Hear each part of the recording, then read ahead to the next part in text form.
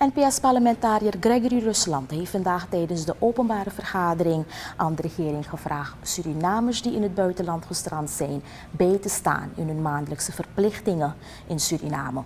Vooral de hypotheekbetalers die hun aflossingen moeten verrichten, kunnen dit nu niet doen omdat ze voorlopig niet terug kunnen reizen.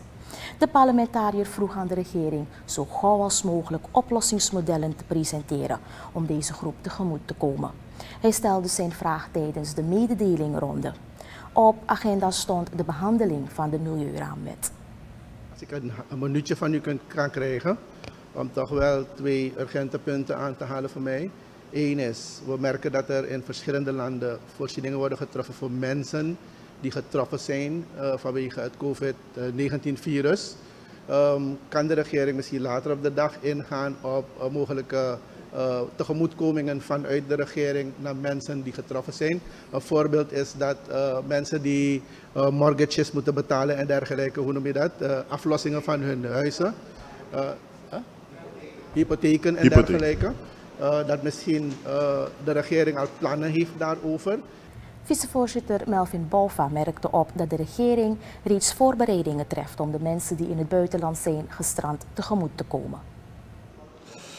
Goed, dat is uh, zo, zo snel mogelijk graag. Ja, dat is uh, duidelijk. Twee hele specifieke vraagpunten. Uh, ene is over de speciale voorzieningen in het kader van, van, het COVID, van de COVID-crisis die ook ons als land in naam van de wereld teistert.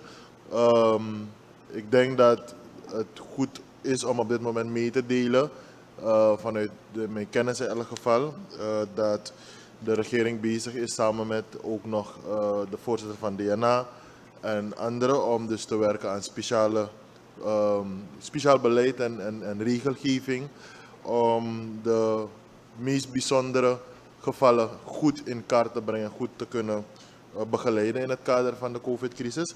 Mogelijk is dat een onderdeel dat eronder valt of kan komen, dus dat zullen we horen wanneer het zover is. Vicevoorzitter Melvin Bova vandaag tijdens de openbare vergadering in het parlement. Hij zei dat de regering voorbereidingen treft om gestrande Surinamers in het buitenland tegemoet te komen.